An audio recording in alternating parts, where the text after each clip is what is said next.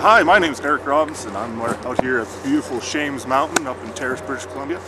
I started as a TELP back in May of 2008 and I work in the paving branch of Field Services. The nice thing about my job is I get to travel the province. I've been pretty much everywhere uh, in British Columbia the past three years that I've been here.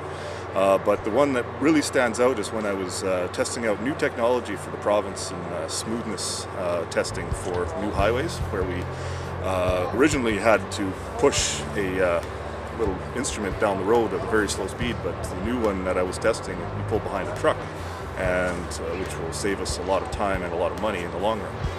Um, that took me everywhere from Fort Nelson all the way down to uh, Nelson in uh, the Kootenays. It was uh, just a wonderful experience. I originally come from Winnipeg, Manitoba, and uh, just couldn't deny myself the opportunity to come out here this beautiful province. And Field Services allows me to take up to five months off in the winter to let me ski or do any other outdoor sport I feel the need to, or travel wherever I want to go. Um, best part about my job? This place. I just love it out here.